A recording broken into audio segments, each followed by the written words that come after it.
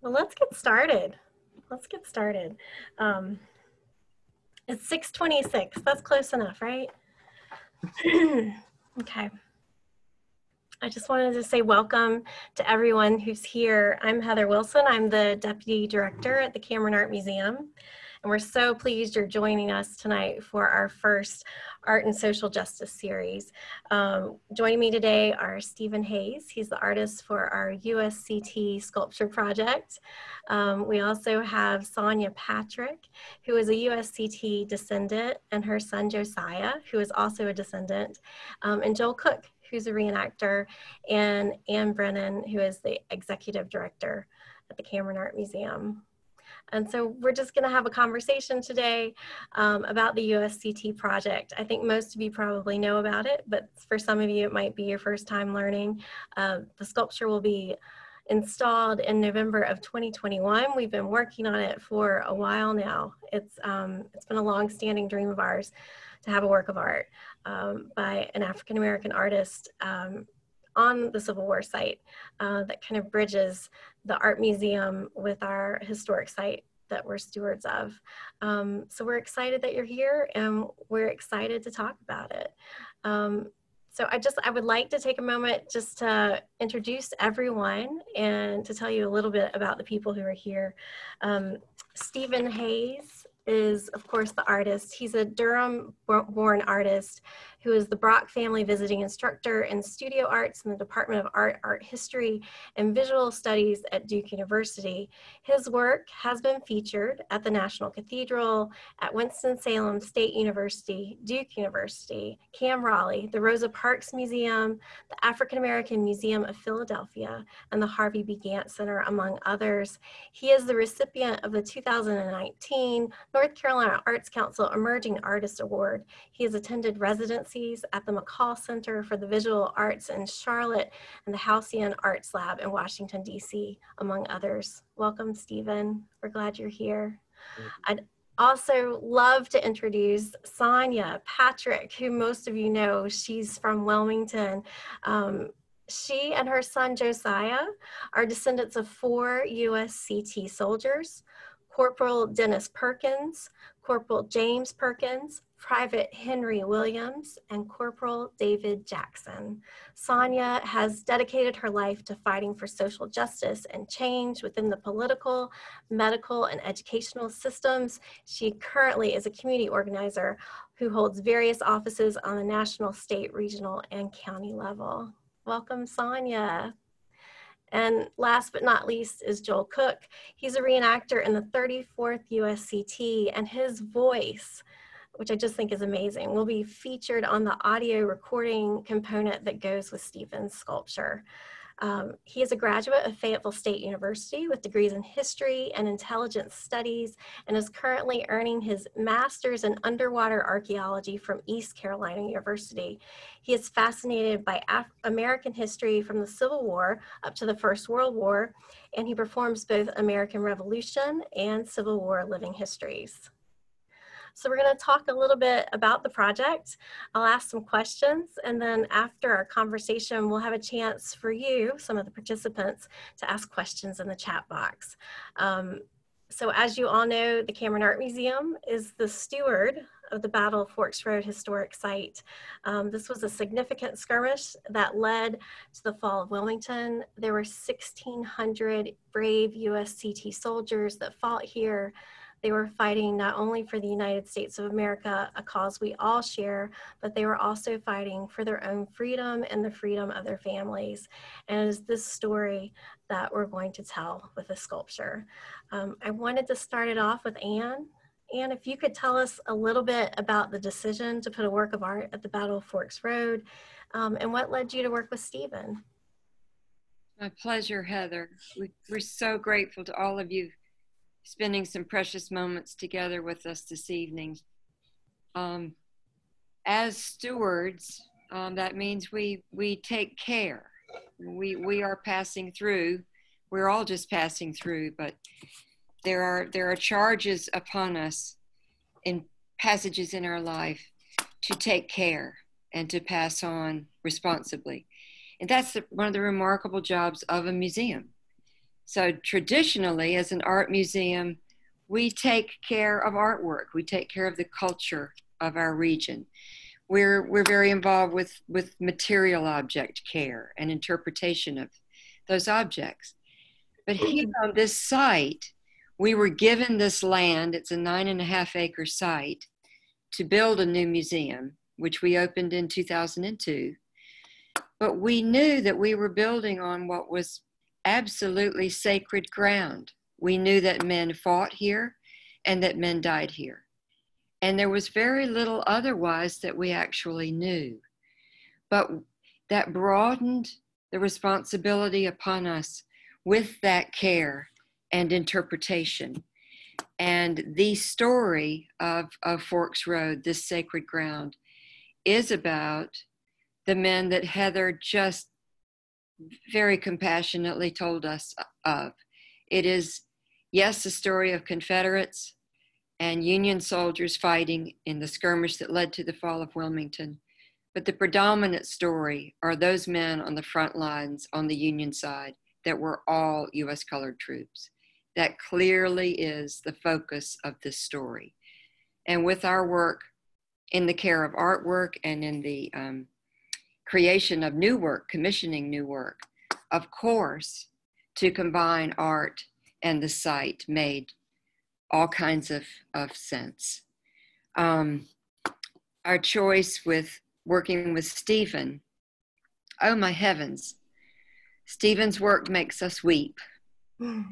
Um, Heather was extremely involved with um, this project coming to fruition we wrote to the Z. Smith Reynolds Foundation for a grant to commission a serious young artist. And you heard the accolades that Stephen bears already. He's so young and he has he just continues to grow from strength to strength with his work. We were overcome by the physicality of his mode of production. We knew to tell the story of the US colored troops, it needed to be figurative, we investigated in short order abstraction or something more symbolic and thought no the starting point was was naturalism figurative and we wanted the prestige and the um, the honor and the historicity of working in bronze. It's a medium that has documented cultures and defined cultures for over 5000 years. And so we knew we wanted to work with bronze. And so Stephen's method of working, it's so raw and so accessible and true for this story. There was no doubt that he, if he would say yes, he was the artist that we would that we would hope to work with and now have the honor to work with.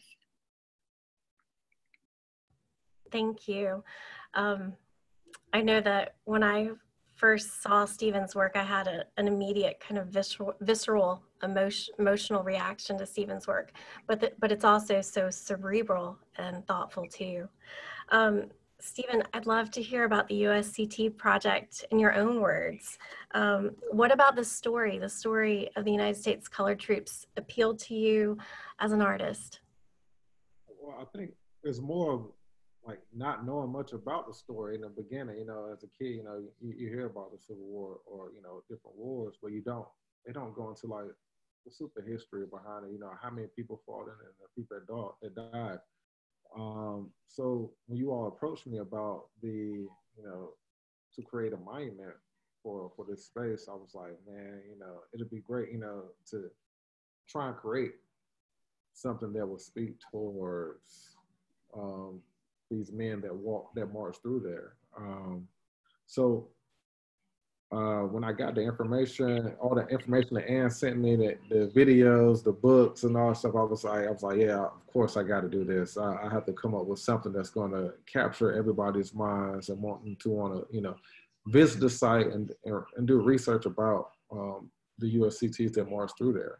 Um, so that's you know, at the end of the day, I want to I want to wow my audience, but I also want to pursue make them want to to visit these sites and you know understand the history that came through um, the different areas or the subject matter that I'm working on. Absolutely.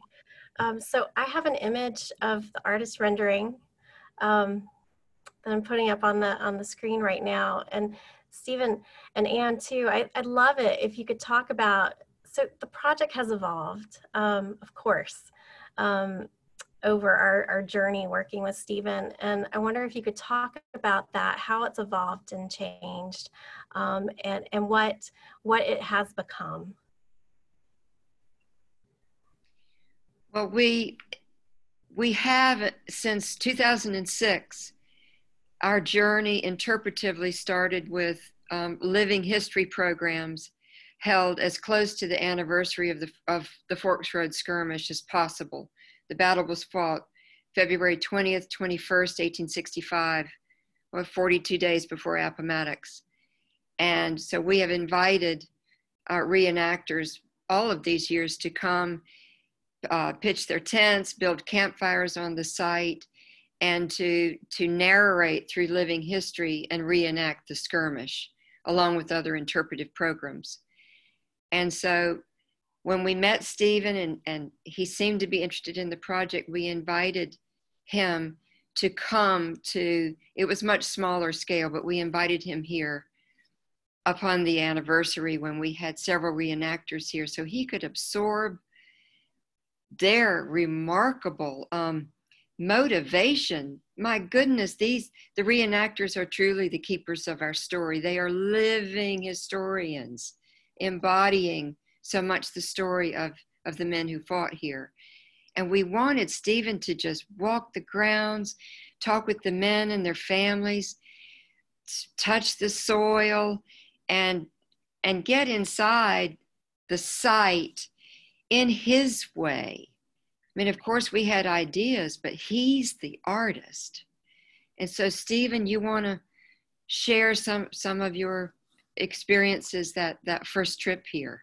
So, so my first trip there, I was allowed to meet to meet the reenactors, and um, it was amazing to see like the moments and the time, the time how they had to, you know, load the barrels, load the cannons, and everything, and how they pitched their tents and the food they ate, um, which all of these different scenes that played out while I was there helped guide me to figure out how I wanted to create the sculpture or what the sculpture was going to end up being. Um, and then also the videos that Anne sent me showed showed the fort that was made where they where they stood their ground, you know, um, on that site. So allowing me to be able to walk the site and figure out where exactly they wanted the monument or the sculpture to be um, helped me tremendously to to just envision where I wanted to go with the sculpture. Um, I mean, we went through a few a few different drawings, you know, a few different ideas until we landed on the one. So, yeah.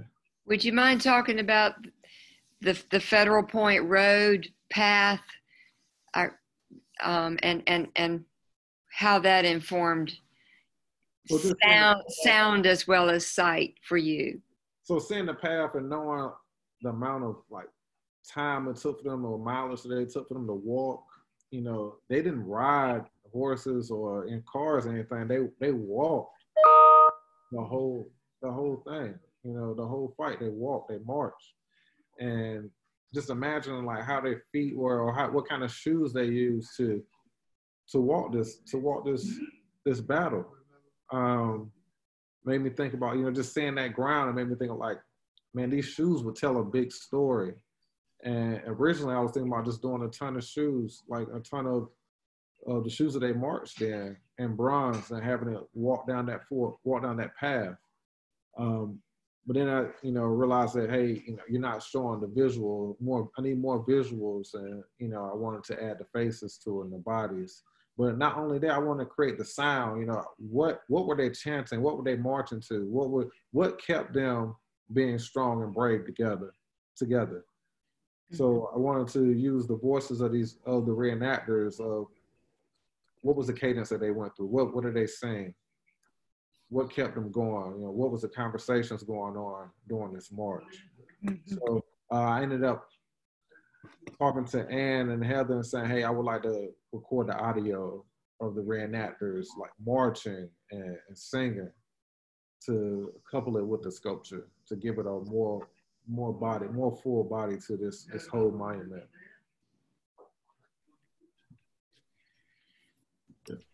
And that to me was one of the most compelling um, compelling things about Stephen's work, his his interest in, in, in bringing in the audio component to the sculpture. Um, not only would we have the figurative representation of these soldiers, but also to be able to hear them chanting and singing and marching. Um, to me, that was really inspiring and fresh and new, um, and I, I, thought could help the viewer to see this in a, a different kind of way. I want to show everyone the back of the sculpture. So on the back, um, Steve, Stephen, can you talk a little bit about your decisions with the back of the sculpture? So the back of the sculpture is going to have the names of all the soldiers that marched through Wilmington. Um, so it's going to be a silhouette on one side, and on the other side you'll see the full body. But um, the silhouette is going to be all engraved, the names of all the soldiers that marched through there, and then um, you'll see the drummer boy and the flag bearer in the full round, but the nine there'll be nine other soldiers that'll be you'll see the silhouette of. Mm-hmm. And we're working right now. Um, we put out a call for volunteers, and if any of you here are interested, um, we already have 25 volunteers who are helping us to go through muster rolls. Um, they're working with fold3.com and they're finding the names of these men um, that until now, we haven't known their names. Uh, we've only known that there were 1,600 men, and it's really exciting work. Uh, so we're really, we're, we're just thrilled about this. I wanted to ask a question um, to both Stephen and Anne about the role of art in social justice. Um, you both um, talk about you know what this sculpture can do for our community. Um, what do you think the role of art is in the pursuit of social justice? Stephen, you want to take the lead? All right. Um, I feel art plays a role in, in, in life in general. Um, art can, is a means to create conversation, you know, to allow different parties, different races to come together. You know, we have different ways of life. We come from different backgrounds. Art plays a role to create this communication, this way to unite one another. You know. Absolutely. So um, that's, that's how I feel artists. I, you know, at the end of the day, you know, I want to be able to create a piece of artwork that's either going to change somebody's life or open their eyes to, you know, create a change. You know, so mm-hmm. yeah, that's what art does. Absolutely. Yes. Absolutely. Anne, is there anything you'd like to add? it's also its job to be disruptive. Yeah. In the most productive way. Yeah. As Stephen said, is to get us talking to one another, con- conversing. And if it's, as we all know, this extraordinary period in world history we're going through right now, with communities all over, definitely this country, looking at what their built environment, what their homes are looking like, what the built environment of where we live, how it represents our value systems. Yeah. Is it reflecting who we are? And resoundingly, we're finding maybe not. And that is what's going on is highly disruptive in the most extraordinary way. And we know this work of art has now entered that narrative for all of us. And we're excited, we're worried for it from, from us, the stewardship, getting back to taking care of it, because I think it's going to. Um, it's going to cause many of us to ask to confront some hard questions within our own hearts and our own souls. And hope and the art if we will let it will help us push through and and talking with one another about it as well. Um, and we're we're very pleased to have positioned this work at least in the continuum of public art again back to the medium of bronze because it's so prestigious, it's so traditional, it's so time honored that we wanted it seated in that um, idiom or genre, um, hopefully to help make it more accessible. You know, we've got the stock inventory about what we expect sculpture to look like. And maybe if it's not too radical in its form, it, it is more accessible for us. Furthermore, this work is going to be situated on the ground, on the path. The soldiers, Stevens soldiers, Stevens strong, solid men will be marching on the very same road that the actual men marched on. We're not putting them up on a pedestal, and that's not because they are not exalted. That is not because, in our mind, they aren't the heroes, the most courageous of the courageous. But we want the accessibility. We want the public to touch the work. We want the public to feel a re knowing within themselves of the work. And we're very excited to see which areas might become more worn faster than others. Think of the sculptures that you love in life, um, the tails on the lions at the New York Public Library, the tails are worn. Are people going to be touching the drummer more? Are they going to be touching the hand of the color bearer? I think, I think there's going to be an intimate um, communication, even through touch with the public. We hope to, and hopefully it will be a careful touch. Absolutely. Stephen, one of the things that I find so um, compelling about your work is um, your depiction of bodies. Um, so much of your work has to do with Black bodies and how they are represented. Cash Crop, in particular, is so powerful.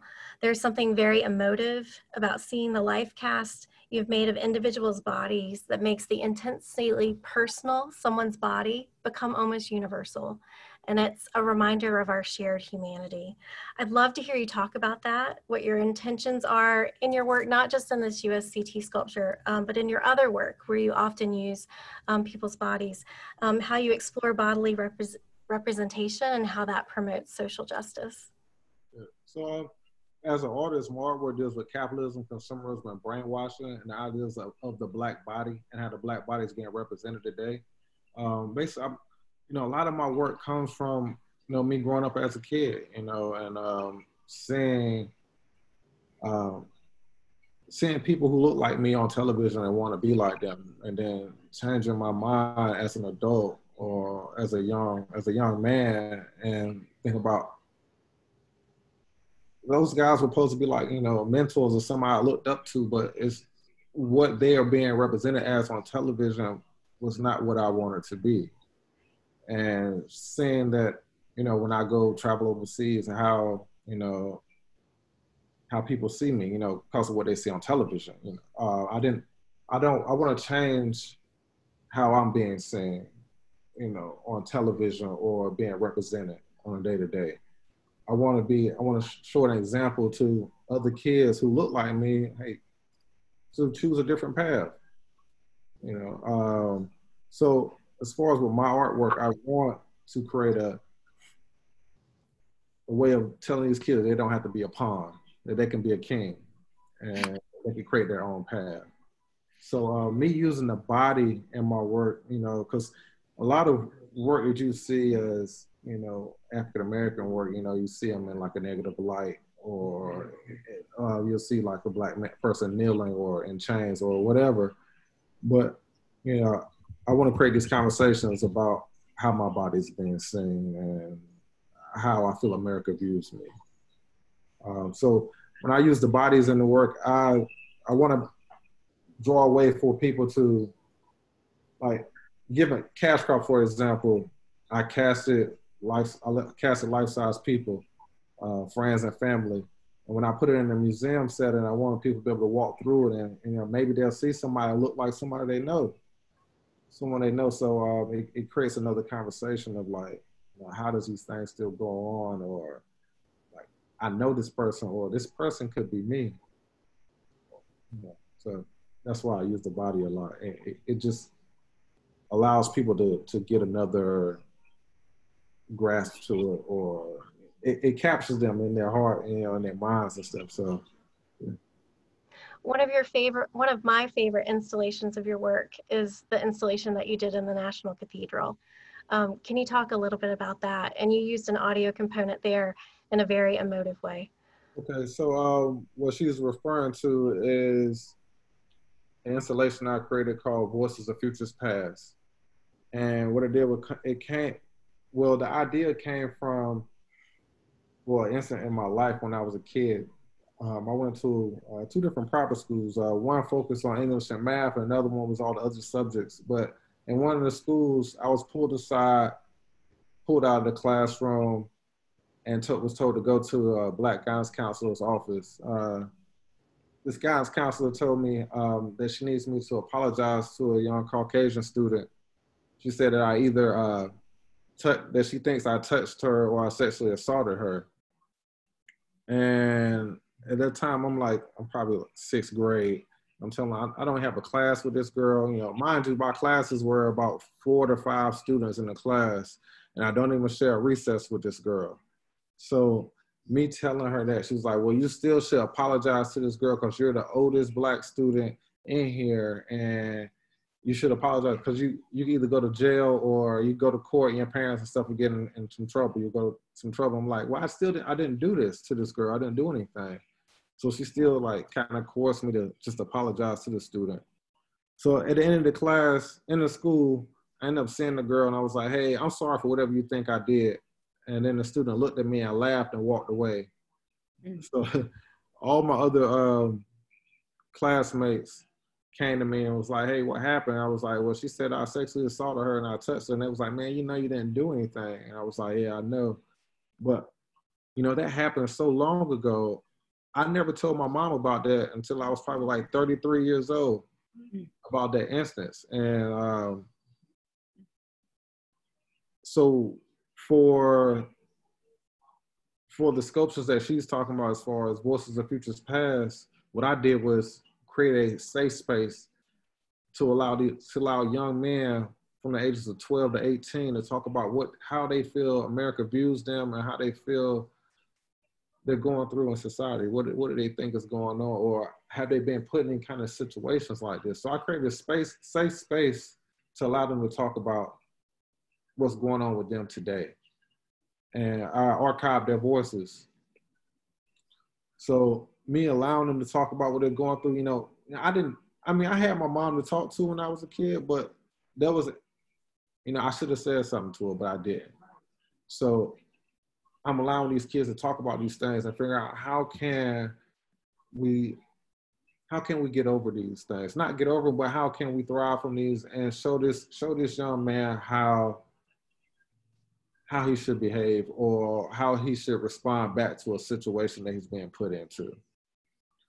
Um, so also there's also a sculpture component to Voices of Futures Past where I casted a bust of older African American men and um, set them down, did a mold of their full body, and then put their I put them on a pedestal. I put their bodies on a pedestal, their bust. And what I did also put in the voices, I put the voices of these kids inside the bust of these men's bodies. And it's more like a performance piece where people have to walk up to this bust of this African American man and put their ear to this man's chest to hear what these kids are saying that they're going through you know, and, and it's and it's more of us talking about how can we as older men or men in general be able to help the next generation. That's what Voices of Futures Past is all about. Stephen, thank you so much. I, I love that work so much. Um, I, I, I want to get back to the USCT project. Um, and, and, I was hoping that you could talk about the casting that you did, um, the choice to cast the features of USCT descendants and reenactors, um, the story keepers, um, is incredibly powerful. And I'd like to know how that came about, um, what the significance is of that choice, um, and if you could talk about the process. And, and I do have um, some pictures to show people as well while you talk. Okay. in my eyes, I feel like it was more of a no-brainer for me. Like I can't just make uh, sculpture of just men out of my mind. I needed to use like the people who are like related to these to these men that marched through here, like because they have they still probably have the features of what the soldier once looked like. Um, so I felt like I, I couldn't just make a sculpture of someone, you know, just a random soldier. It, need, it needed to be their relatives, their descendants, um, or even reenactors, just because it gives it more of a human human quality for you see the you know the texture of this person's face, their skin, um, and also these men their body was on the line. You know they were here fighting for the freedom of their bodies so it had to be right for me to use their relatives and put their relatives in this in this in this monument. Um, the process was me. Um, I had to put Vaseline over the people's faces and then put plaster gauze over their body to create to create the mold of their body. Afterwards, I poured plaster inside of the mold to get the uh, the positive so right now, what you see in my hand in, in the image is the negative of the person. And then later on, I'm gonna pour the plaster. In, I will pour the plaster inside of the mold to create the positive. So after I create the positive their heads, end up making the but making the sculptures, um, the bodies of the sculptures, or, or, the soldiers, and then putting the heads onto the soldiers, and then that's going to end up being turned into a bronze. So. That's more of the process. Uh, what you see is, so I don't normally do my molds in front of in front of crowds, uh, but you know, for this project, this is something I know I, I had to do. So what you see in this image is me putting the plastic gauze over one of the one of the so one of the future who's going to be a soldier over his body and then so it takes about a 15 20 minute process where they have to sit still and I play, place these gauze all over each inch of their skin. Um, basically, you dip this fabric inside of the water, put it on the skin, you let it sit, and it starts to get hard like a rock, stiff. Once it stiffens out, I give them a series of instructions to do while they're inside of the mold. And uh, basically, I tell them to smile, raise their eyebrows, and flare their nose. This releases the plaster from their skin. Um, also, throughout the process, I'm asking them if they're okay. I, you know, hey, are you all right? Because this is a this is a moment where you're basically being mummified, and sometimes people will panic and they'll hear their heartbeat beating inside, in, inside, inside the mold. They'll hear their heartbeat beating. I'll tell them ahead of time, hey, you're going to hear your heartbeat in here, so don't panic. It's gonna be okay. I'm still here with you. I'm always talking with them, make sure make sure they know that I'm there and they're safe.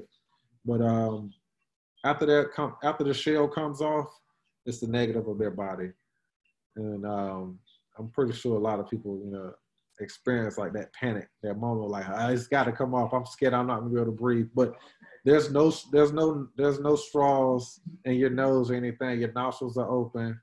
I like to mess with them, telling hey, you got to hold your breath the whole time you know, it's 20 minutes, hold your breath. But, you know, um, for the most part, that you breathe, you can breathe the whole time. Yeah. That's the process. Here's a couple more pictures.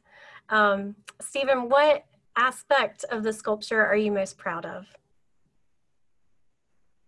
I'm at the end. I'm most. I'll be most proud of seeing the end product. You know,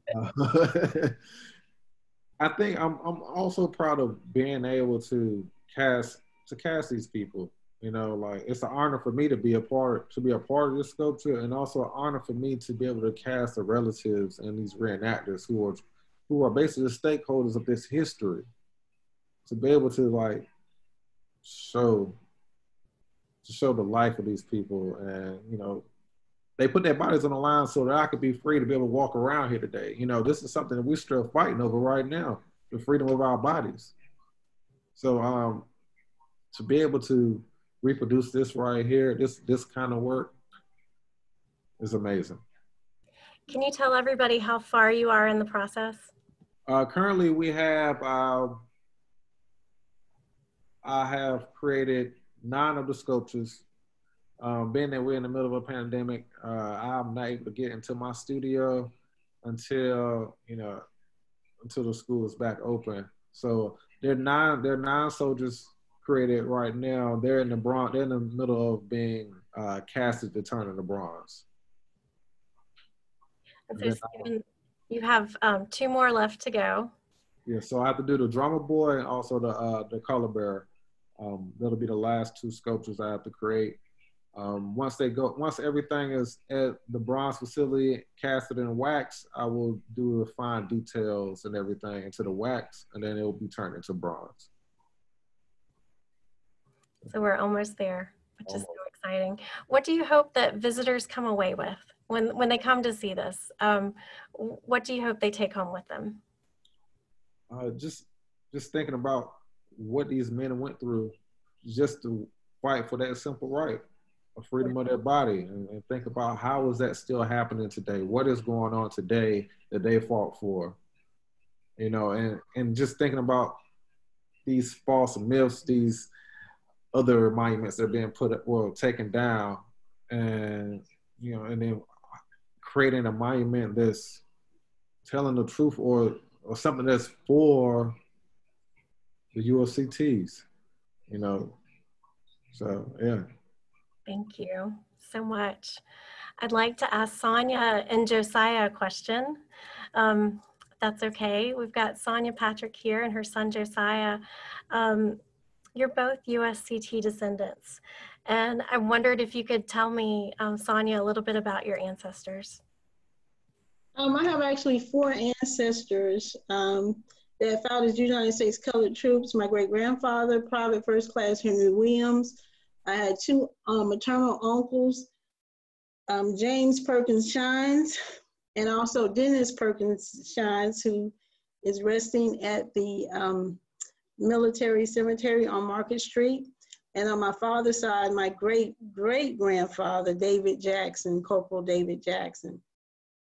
So I have four that I know of. And I, I, I must say, um, I can't thank the Cameron uh, Museum enough for doing this. Um, it's really emotional to watch some of this. Um, and the artist is just, it's, it's emotional just watching his work. His work is just incredible. And it was just an honor to be a part of this and to tell a story that hadn't been told. I mean, how many um, sculptures are there like this in the United States? And they were fighting for the United States of America as well. And they fought hard and they had to deal with certain, um, eh, with very little conveniences, no conveniences, as a matter of fact. And, and they fought with their heart. And I'm very happy that is not only a victory for African Americans, but a victory for the United States of America.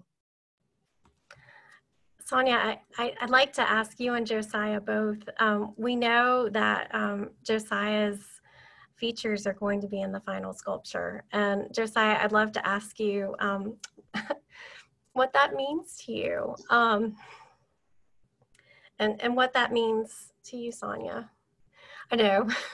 Uh, well, it means a lot because art is like the best way to visualize the past so I have to be honored to give a, res- a visual representation of the legacy that my descendants left behind.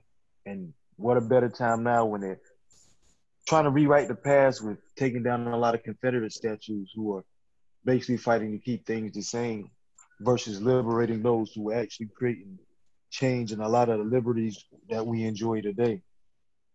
So with that being said, just being able to give a visual representation means a lot. Because luckily I'm fortunate enough that I'm able to have my mother pass down certain stories and different things of my heritage, but having a visual physical monument and statue, others will be able to walk by and ask questions and then be informed about the sacrifices they made to put us in a position to enjoy many things we do today. Thank you, Josiah. If you could, I think the image of Josiah is the, the last one you just passed. You go back one. Yeah, that's you, Josiah. Right there? Yes, sir. Like that. Yeah.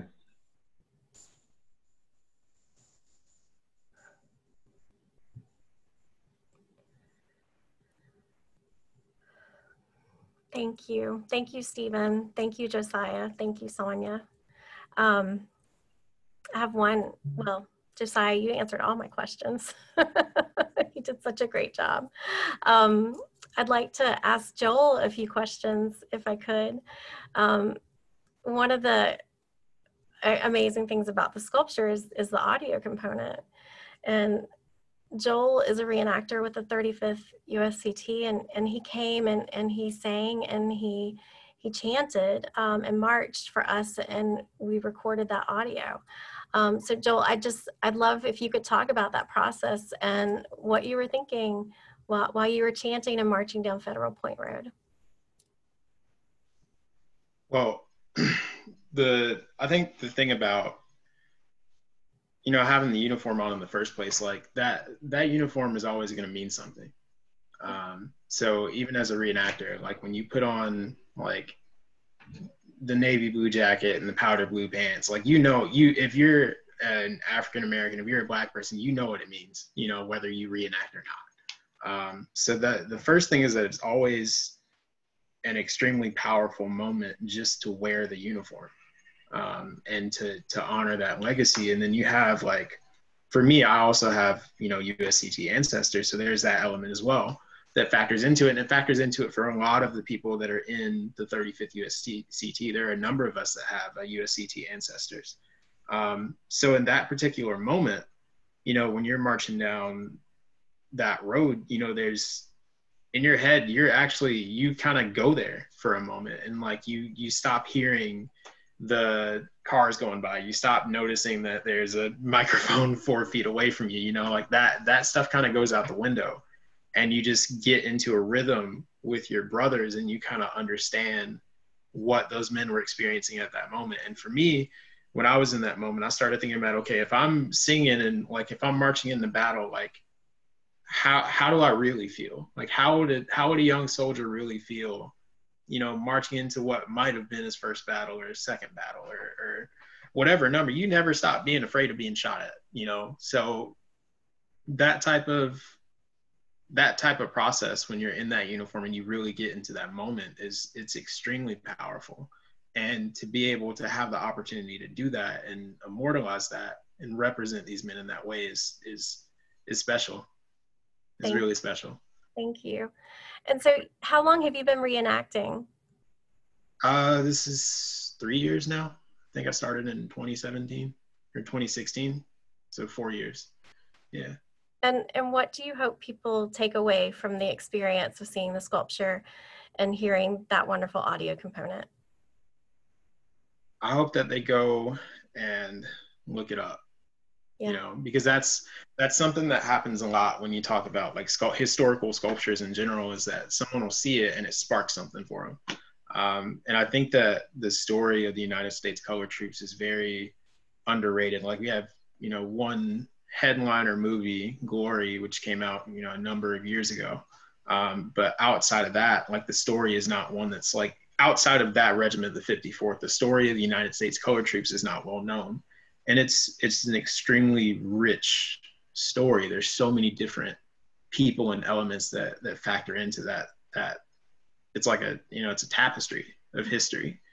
Um, and i hope that when people see this that they'll take a look and see who was involved. And i've already seen some questions um, in the chat box just here where people were trying to figure out like who what units were there and like what the names of these people were. So like when you're seeing these names and you're seeing all of this information that will be on this particular monument i hope that people take that and say okay well maybe i need to go read a little bit more. Maybe i need to go research a little bit more about who these men actually were.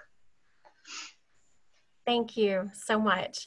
Um, we i'd love to take questions. I know i've seen a lot of questions go by in the chat box. Um, and more than I can probably ask right now. But I know um, Greg had a question and he wanted to ask about the flag. Um, so I thought we'd go ahead and, and, talk about that a little bit. The flag has been something that um, we've gone back and forth about. Um, and Anne and Stephen, I wondered if you could talk about that a little bit. Um, we haven't decided if, if we're going to use a United States flag or a USCT flag yet. Um, Anne, would, would you like to talk about that? Yes, thank you, Heather. It's been you know, as, as, as Stephen has noted, and, and, and we all have, that we, one, one of the aspects that we desire most for the sculpt, sculpture to affect is conversation, and the flag has been a conversation point. Um, our thinking, if it is, well, A, Stephen is designing it such that the flag can change. The flag will be a real flag. That was, I mean, it will be, it's not going to be bronze, is what I'm trying to say. And from the very start, that's been critical to Stephen that it was that it was a flag of, of fiber. Um, and yes, the historicity of the piece is very important to us with the, all the research of the names of the USCT that served in the Wilmington campaign. So to do, for the work to serve as a document of history, yes, is it has been extremely important to Stephen and to all of us participating. But works of art oftentimes have the fluency of not being tied strictly to a point in time. And we've touched on that today, how much this work commemorating the heroism of these men from February 20th to 21st, 1865, still, I mean, to Stephen's point, is, is still so contemporary here in 2020. And so there was an argument to be made that perhaps the work seated as a document in history is carrying us to the present and to the future. And we've had current veterans talk about the meaning that the work has for them. They were not USCT, but they are they are service people today, and this and the work resonates for them as well. So that was one part of the argument. And then others feel that it needs to be seated firmly in that moment in time with the flag. And Heather, you want to pick up with some of the research with the uh, the flags that the USCT bore. We've we're continuing to learn. Right. So um, I have been researching who makes USCT flags is one thing, um, and also which USCT flag would be the most appropriate um, for um, this particular sculpture. The fifth USCT led the charge. Um, most of the USCT that fought here were in the 5th Regiment. Um, so the historians that I have talked to have recommended that we use the, um, the flag for the 5th USCT. And then there is there is a collective USCT flag as well. Didn't you just recently discover that? Yes, um, someone told me recently that there was a, a national USCT flag, so we're looking into that as well. So so we've discussed the use of the different flags for different points of interpretation. If we were having seminars about about the service of the men during the time, or so um, it's a, it's a very open conversation. Um, money does come to bear with all of this. This to to erect even a sculpture in bronze of one figure is not for the faint of heart. And our sculpture, Stephen is creating 11 figures. And then with Heather's research, there are individuals that sew historic flags, but they are extraordinarily expensive. And there's nothing to protect this. It can easily be removed from the, um, the color bearer's hands. So it's not the most defining aspect, but it's certainly a sobering one to think of, of costs every step of the way. Stephen, you want to weigh in with the uh, philosophy about the flag, a symbolism of the flag? I think you answered everything. It was well spoken. I think well, we're we're excited by the possibilities of of both. Yeah. And so Heather put together a confab here at the museum. Oh Lord, was it last October, Heather? It seems like a thousand years ago. And we had county commissioners present. Mayor Bill Saffo was here, and oh, the conversation was so sparky. And Mayor Saffo just suggested that we could change out the flag depending upon the purposes that we needed. and I, I, I thought that was very very diplomatic of him as a politician. I love how Stephen um, Stephen has often said um, that the USCT sculpture is is more than just a moment. He says it's it's then, it's the past, it's the present, it's the future, and and that's what you know the casting of the descendants and the reenactors um, give this sculpture. It's this line of strength and honor um, and striving forward um, for social change and social justice that I think he captures so beautifully. Um, and, and that's part of why the, the, United States flag, it seems like it's this thing that we're reaching for, right? Um, but um, so that's still a work in progress. We have lots of questions about research. I hope I get some research volunteers from this group. I see that some of my volunteers are here. Um, so yes, we do know the regiments that were there. Um, we have looked in the cemetery in Southport. Um, and I saw that our public historian, Devin Kelly, was, she's, she was in here a while ago. I don't know if she's still here, but um, so one of the things about the way um, ancestry research is structured right now, and also someone asked if we had re reached out to the African American Civil War Museum. We have. Um, it's very easy to look, or it's easier, it's not very easy, it's easier to look for an individual name than it is to look for an entire list of folks who were at a certain battle. And this was a, a fairly small battle.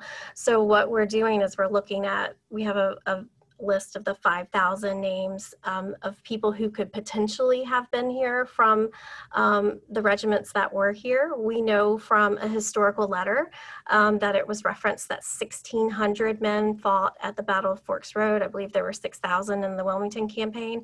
Um, so we're going through the list of 5,000 to look at muster rolls um, and to go painstakingly through Simone's here. She's doing it. Um, to find out who was here and who wasn't. Um, so that's where we are in that process. And, um, you know, it's, it's um, a new bit of history that we're uncovering. And I know that we'll uncover so many stories, so many threads that will lead us um, somewhere else. So we're really excited about that. I'm trying to go through your questions. Um, we do have, I should say, because some of you have asked, how can I make a donation? Um, which is my favorite question. um, we've been working long and hard to raise money for this project. We do have generous support from Z. Smith Reynolds and from PNC, um, but you can purchase a paver um, that commemorates, you know, your name or someone in your families if you'd like, and that's on our website. And John McDonnell, who is our development director, has um, listed the link in the chat um, if you're interested. I can also post it on our Facebook page later, and it's on our website. Veronica, I love hearing that as an Army veteran, you look forward to the dedication. Thank you. We agree, the story needs to be told. Ah, Veronica's an African American relative of a Buffalo soldier. Very cool. Fred, I don't know that answer about the number of USCT, but um, I can take it up with John Hanc, the, the, the writer for the New York Times, if you'd like me to. so many questions um, and comments. Um, ah, here's a great, here's an interesting question. Stephen, it's great to hear from you. I was wondering, have you ever been inspired by one of your students' work?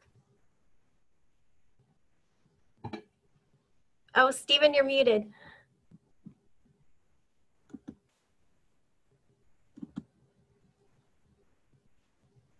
No, no, I'm never uh, inspired by any of my students' work. I'm joking. Um, I enjoy all everybody I encounter as far as my students. Each and every student inspires me in some some kind of way or form. Um, be that the way I the way I need to teach to improve my teaching, or how I'm teaching, or even like learning different mediums uh, to to show them how to use different materials. So uh, I'm always inspired by a student. You know, it, it's, it's, it's good to be a teacher, but it's also best to be able to be able to learn from them as well. Like you're not doing anything if you're not learning at the same time, or either at the end of the day, you're just doing the same thing over and over. So I enjoy learning from them and teaching them at the same time. So I'm always learning. Thank you. And I know Stephen's itching to get back into his studio at Duke and back in the classroom. Um, so Devin Kelly, our public historian, is here, and she answered the question about the regiments. The 1st, 5th, 27th, and 37th were the regiments that were present at Forks Road. And so those are the regiments um, that we're going through right now to find out which of these men were here um, at Forks Road. There was after after the fall of Wilmington, there were quite a few um, men that joined the USCT um, because the USCT came to town and um, were these amazing leaders. And so I think a lot of people in Wilmington um, decided to join the USCT at, at that point. Um, so that's one of the things that we're trying to figure out. Who, who was there at Forks Road and, and who joined after? Heather, um, if you don't mind, I wanted to add a little bit to that as well. Um, something that stuck out to me in my research as well about you know the USCT arriving in Wilmington is that um, a number of the soldiers that were in these regiments, like a like a large number, were from the area. So when as they're marching into Wilmington, they're actually like documented cases of like mothers being on the side and seeing their son for the first time in three months and running into the regiment and breaking up. You know, there's there's those types of reunions that are happening as they're marching into the city to recapture it. And I think that that also would have contributed pretty heavily to who's joining up after you know they arrive because you're seeing your you know if i if i see my cousin who i haven't seen in three or four years you know walk up and he's got this nice shiny uniform and like you know i'm i'm i'm probably going to be pretty interested in joining up with him and seeing what that life is like. So i just always thought that's really interesting and i like to i like to share that when i have the opportunity. So thank you so, so much I'm so glad you just you um, shared that story. And one of the people that um, I see that's here today is Carolyn Evans, and she's an African American storyteller that will be um, telling stories for us when we do do the dedication um, of the USCT sculpture. And that's one of the stories we want to tell. There is um, a Philadelphia, an African American Philadelphia paper reported that a woman was reunited with her son and the last time she had seen him he was a slave. She didn't know where he went and he came back. He was a man and he was in uniform marching marching into wilmington. It's an amazing story. Uh, Devin wanted me to tell everyone that she got her information from Chris Fonvielle's book, um, The Wilmington Campaign, um, which we do have for sale in the shop. um, it's so wonderful to have all of you here today. Um, I don't see any more questions. If you have questions, please go ahead and ask them. Is there anything else that anyone else on the panel would like to say? Sonya? Stephen? Thank you. Thank you. Thank you so much. Thank you so much for having us and, and preserving this significant part of American history. United we stand as Thank a nation. Thank you. Um, I'm going to put my email address in the chat box. Um, again, my name is Heather Wilson. Um, please feel free to email me if you have any questions um, or if you'd like to volunteer.